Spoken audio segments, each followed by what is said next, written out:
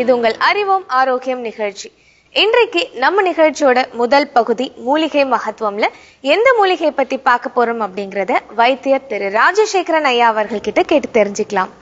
வணக்கம் ஐயா. வணக்கம்மா. இன்றைக்கு எந்த மூலிகையை பத்தி பார்க்க போறோம் ஐயா? இன்றைக்கு நம்ம பார்க்க போற மூலிகை இத்தி. இந்த ஆலமரம் இருக்கு இல்லைங்களா? அந்த மர வகையைச் சேர்ந்தது. இது பொதுவாக பார்த்தீங்கன்னா நம்மளுடைய வீட்டில் இந்த சுவர் இருக்கு பார்த்தீங்களா அந்த சுவரினுடைய வெடிப்புகளில் இல்லைன்னா சுவர் மேலே கூடவும் பாறைகள் மலையில் மலைப்பகுதிகளில் பாறைகளினுடைய இடுக்குகளில் வேறு சில மரங்களை சார்ந்து வளரக்கூடிய ஒரு மர வகையைச் சேர்ந்தது. சரிங்க ஐயா.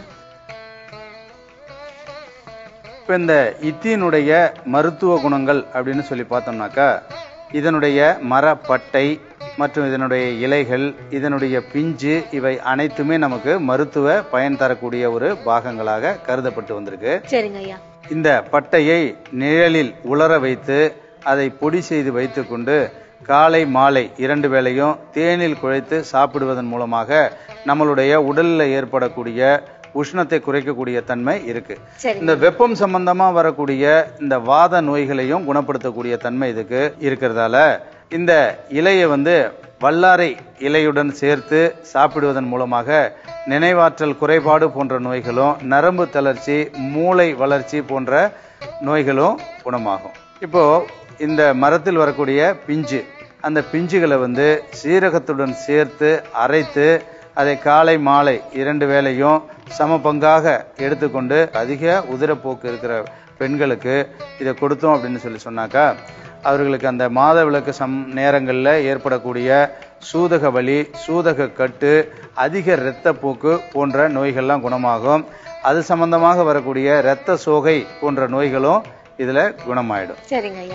இப்போ இந்த உடல்ல இருக்கக்கூடிய உஷ்ணத்தை கு- குறைப்பதற்கு வேறு பல மூலிகைகள் இருந்தாலும் நம்மளுடைய உடல்ல இருக்க உஷ்ணத்தை போக்கி நமக்கு நல்ல ஆரோக்கியத்தை தரக்கூடிய தன்மை இந்த இலைகளுக்கு இருக்கு. இப்போ நம்ம இந்த இலைகளை சூரணமாக செய்து கஷாயம் வைத்து சூப் வைத்து சாப்பிடுவதன் மூலமாக மிளகு சீரகம் பூண்டு வெங்காயம் இவைகள்லாம் சேர்த்துக்கிட்டு உள்ளுக்கு குடிப்பதன் மூலமாக நம்மளுடைய சுவாச உறுப்புகளில் ஏற்படக்கூடிய தொந்தரவுகள் இருமல் சளி போன்ற நோய்களும் இந்த மூலிகையில குணப்படுத்தக்கூடிய தன்மைகள் இருக்கு. சரிங்க இப்ப இந்த இத்தி மூலிகை வந்து மலச்சிக்கலை குணப்படுத்தக்கூடிய தன்மை இதுக்கு அதிகமா இருக்கு. அதாவது நிறைய பேருக்கு இப்போ டயரியா அதாவது கழிச்சல் சொல்றாங்க இல்லைங்களா?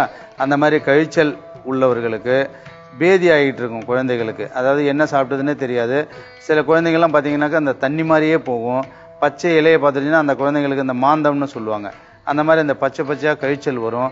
அந்த மாதிரி அந்த குழந்தைகளுக்கு வரும்பொழுது இந்த இலையை வந்து சாறு எடுத்து அந்த குழந்தைகளுக்கு கொடுப்பதன் மூலமாக தேனில் கலந்தும் கொடுக்கலாம் பச்சையாகவும் கொடுக்கலாம். அந்த மாதிரி கொடுப்பதன் மூலமாக அந்த கழிச்சல் நோயெல்லாம் குணமாகும். வயிற்றில் உள்ள மலக்கிருமிகள் அதாவது மலக்கிருமிகளால் ஏற்பட்ட தொற்று நோய்கள் சிறுநீர் பெருக்கிய குறைப்பது. அதாவது நிறைய பேருக்கு இப்போ சர்க்கரை நோய் உள்ளவர்களுக்கு அந்த சர்க்கரை நோய் குறைபாடு உள்ளவர்களுக்கு இரவு நேரத்தில் அதிகமாக நீர் கழிச்சல் இருக்கும். அந்த மாதிரி அதிக சிறுநீர் போக்கு உள்ளவர்கள் இந்த இலையை காலை மாலை இரண்டு வேளையும் பச்சையாகவே அரைத்து குடிச்சிக்கிட்டு வந்தாங்கன்னு சொல்லி சொன்னாக்கா அந்த சிறுநீர் பெருக்கம்லாம் குறைஞ்சிரும். நிறைய அந்த சி- அதிகமா நீர் கழிச்சல் இருந்ததுன்னா அவங்களுக்கு உடல் சோர்வு அடைஞ்சிருவாங்க அந்த மாதிரி உடல் சோர்வு உள்ளவர்களுக்கு இதை கொடுத்துட்டு வந்தாங்கன்னாக்கா குடிநீராகவே பயன்படுத்தி குடிக்கலாம். அதாவது நம்ம இப்போ தண்ணி குடிக்கிறாங்க இல்லைங்களா? அந்த குடிநீரிலேயே இதை இட்டு இந்த இலைகளை இட்டு காய்ச்சி அதை வடிகட்டி வச்சுக்கிட்டு ஒரு இரண்டு லிட்டர் தண்ணீர் ஒரு நாளைக்கு குடிக்கலாம்னா அந்த ரெண்டு லிட்டர் தண்ணீரில் இந்த இலையை போட்டு காய்ச்சி வடிகட்டி வச்சுக்கிட்டு குடிச்சிக்கிட்டு வந்தாங்க அப்படின்னு சொல்லி சொன்னாக்கா அந்த உடல்ல அந்த ஏற்படக்கூடிய அந்த நீர் அதாவது சிறுநீரக கோளாறுகள்லாம் நீங்கும். இன்றைக்கு மூலிகை மகத்துவம் பகுதியில இத்தி மூலிகையை பத்தி நிறைய விஷயங்கள் பார்த்துட்டு இருக்கோம் இன்னும் இன்ட்ரெஸ்டிங்கான இன்ஃபர்மேஷன்ஸ்லாம் இந்த மூலிகையை பத்தி நமக்காக காத்துட்டு இருக்கு அதெல்லாம் பாக்குறதுக்கு முன்னாடி நம்ம நிகழ்ச்சியில ஒரு சிறிய இடைவேளை.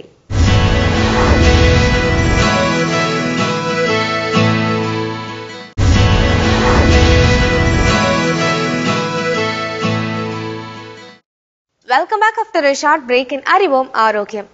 இன்றைக்கு இத்தி மூலிகையை பத்தி நிறைய விஷயங்கள் பார்த்துட்டு இருக்கோம் தொடர்ந்து பார்க்கலாம்.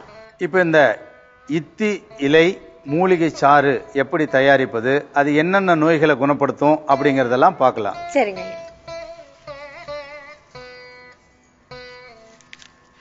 இந்த இத்தி இலைகளை நம்ம பறிச்சு போட்டுக்கிறோம். இந்த இலையினுடைய கொழுந்த கூட அப்படியே பறிச்சு திங்கலாம். இது ஒரு துவர்ப்பு சுவையுடையதுதான் கசக்காது. லேசாக காரத்தன்மையும் துவர்ப்பும் உடையது.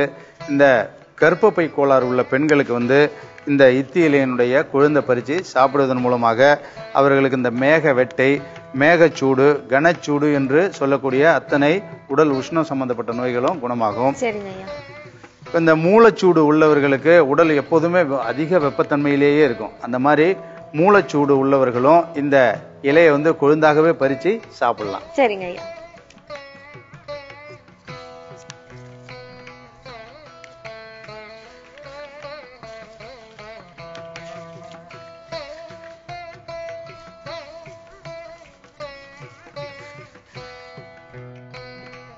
கரண்டி கொடுங்க இப்போ நமக்கு இதில் ஒரு கரண்டி அளவிற்கு இதில் தயிர் சேர்த்துக்கிறோம்.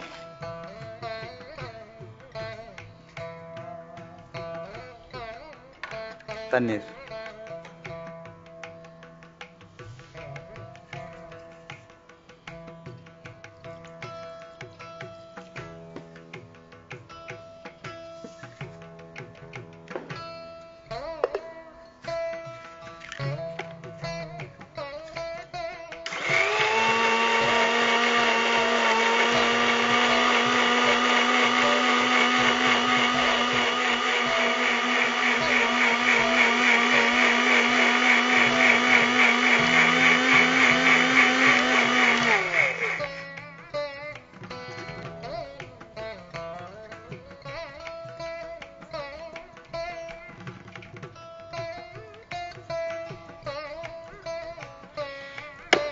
எதனால இது கூட தயிர் சேர்த்து அரை அரைக்கிறீங்க? இது வந்து நம்மளுடைய உடலுக்கு அந்த உஷ்ணத்தை குறைக்கிறதுக்கு அந்த தயிரும் நமக்கு பயன்படும். அதுபோல இந்த மூலிகை சேரும் பொழுது செரிமான கோளாறுகள் வயிற்றில் ஏற்படக்கூடிய அந்த செரிமான கோளாறுகள் பித்த நீர் அதிகமாக இருக்கும். அந்த கல்லீரல் மண்ணீரல்ல ஏற்படக்கூடிய அந்த பித்த நீர்களை போக்கக்கூடிய தன்மையும் இதுக்கு இருக்கு. சரிங்க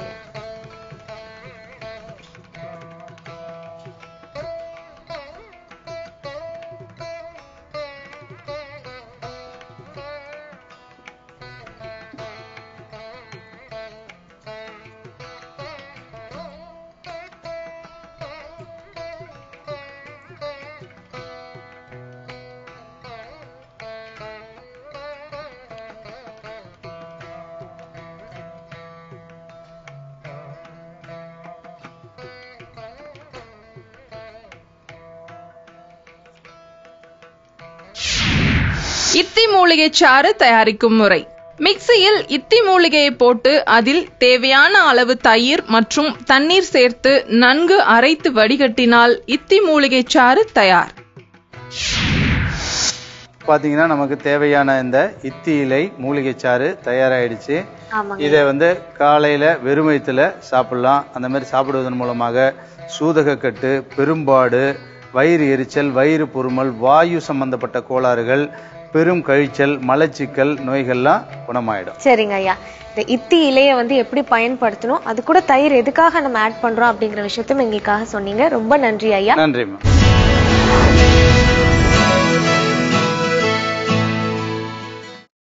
வணக்கம். இன்னைக்கு நம்ம ஆர்கானிக் அறுசுவை நிகழ்ச்சியில செய்ய போறது மில்லட் சாலட் இந்த சாலட் செய்யறதுக்கு தேவையான பொருட்கள் என்னன்னு பார்க்கலாம். ஊற வைத்த சாமை அரிசி ஊற வைத்த கொண்டக்கடலை கேரட் கேபேஜ் வேர்க்கடலை வினிகர் தேன் சோயா சாஸ் எலுமிச்சை சாறு இஞ்சி இந்துப்பு. இந்த ஊற வச்சிருக்க சாமையையும் சன்னாவையும் ஒரு குக்கர்ல போட்டு ரெண்டு விசில் விட்டு வேக வச்சுக்கலாம்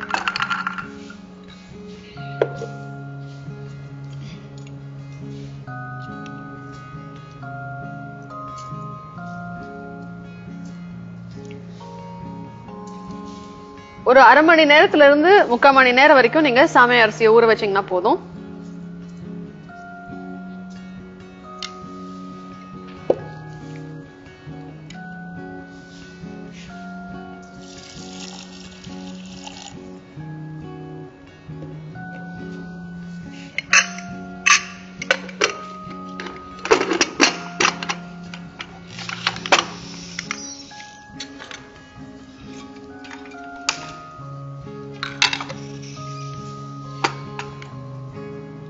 இது வேகட்டும். அதுக்குள்ள நம்ம இந்த சாலடுக்கு தேவையான ட்ரெஸ்ஸிங் பண்ணிக்கலாம். வேர்க்கடலை. அது வெறும் பச்சை வேர்க்கடலையே போதும். அதை நீங்க ரோஸ்ட் பண்ணணும்னு அவசியம் இல்லை. ஒரு மூணு ஸ்பூன் அளவு போட்டுக்கலாம். இது கூட வந்துட்டு இந்த இஞ்சி. கட் பண்ணி வச்சிருக்க இஞ்சி. ஒரு ஒரு இன்ச் சைஸுக்கு இஞ்சி எடுத்தீங்கன்னா சரியா இருக்கும். அப்புறம் எலுமிச்சை சாறு. ஒரு பாதி லெமன் எடுத்தீங்கன்னா போதும். இது கூட சோயா சாஸ் அது கொஞ்சமா போட்டீங்கன்னா போதும். ஒரு கால் டீஸ்பூன் அளவு.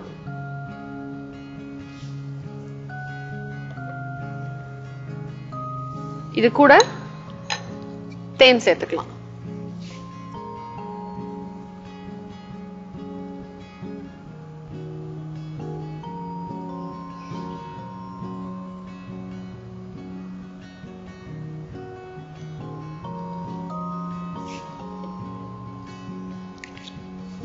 தேவையான அளவு இந்துப்பு.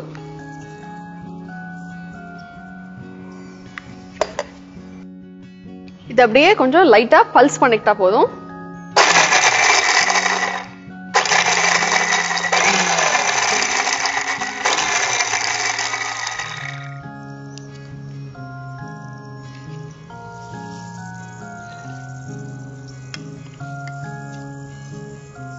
இது அப்படியே ஒரு ஒன்னா ரெண்டா அந்த பீனட்ஸ் உடஞ்சதுன்னா அதுவே போதும் நம்மளுக்கு. ஃபுல்லா அப்படியே இதாகணும்னு அவசியம் இல்லை. இப்ப பாருங்க இப்ப இந்த பதத்துல இந்த அளவுக்கு உடஞ்சதுன்னா போதும்.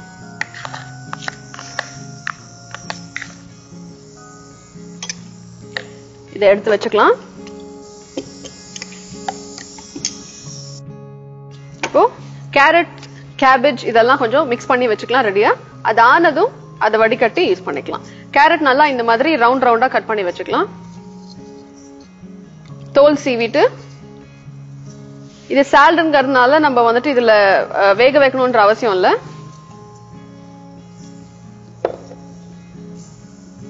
இது கூட நல்லா மெல்லிசா சீவி வச்சிருக்க கேபேஜ்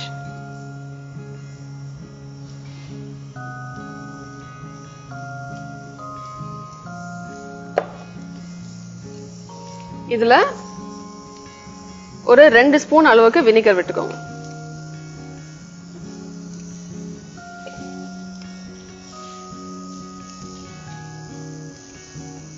இந்த சாலட்க்கு தேவையான காரம் வந்து நம்மளுக்கு இஞ்சி போட்டிருக்கோம் இல்லையா? அந்த இஞ்சிலேயே இருக்கும். ஸோ அதனால நம்ம அதை பத்தி வரி பண்ண வேண்டாம். உப்பு மட்டும் கொஞ்சமா ஆட் பண்ணிக்கோங்க.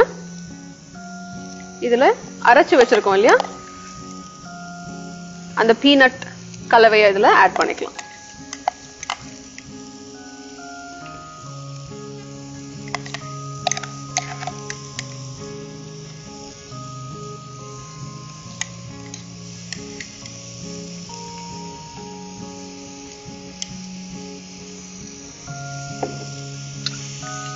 இது ரெண்டும் வெந்துட்டும் சன்னாவும் மில்லட்டும் அதுக்கப்புறமா அடுத்த ஸ்டெப் பார்க்கலாம்.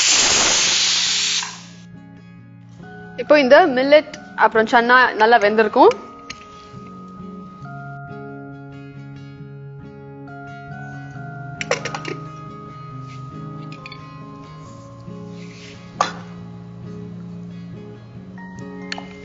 நல்லா ட்ரையா நல்லா உதிரியா வெந்திருக்கு. இது அப்படியே நம்ம சாலட்ல ஆட் பண்ணிக்கலாம்.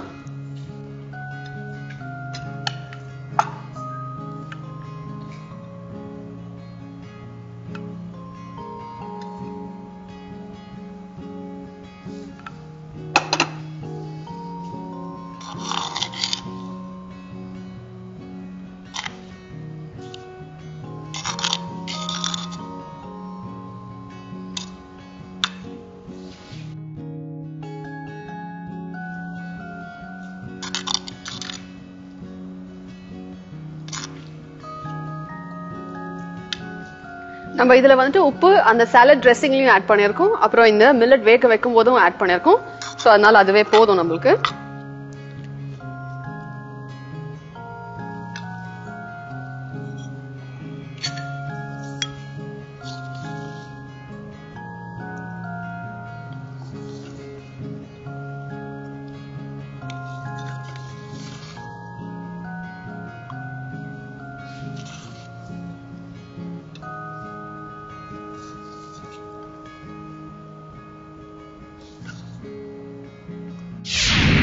மில்லட் சாலட் செய்யும் முறை. குக்கரில் கொண்டைக்கடலை சாமை அரிசி தண்ணீர் ஊற்றி வேகவிடவும். மிக்சியில் வேர்க்கடலை இஞ்சி எலுமிச்சைச்சாறு சோயா சாஸ் தேன் தேவையான அளவு இந்துப்பு போட்டு ஒன்றிரண்டாக உடைத்துக் கொள்ளவும். ஒரு பாத்திரத்தில் கேரட் முட்டைகோஸ் வினிகர் இந்துப்பு மற்றும் வேர்க்கடலை கலவையை போட்டுக் கொள்ளவும். அதில் வேக வைத்த சாமை மற்றும் கொண்டைக்கடலையை போட்டு நன்கு கிளறினால் மில்லட் சாலட் தயார். இப்போ சுவையான மில்லட் சாலட் ரெடி ஆயிடுச்சு. இந்த ரெசிபியை உங்க வீட்டுல ட்ரை பண்ணி பாருங்க. எப்படி இருக்குன்னு சொல்லுங்க. மீண்டும் அடுத்த ஆர்கானிக் அறுசுவை நிகழ்ச்சியில சந்திக்கலாம். நன்றி வணக்கம்.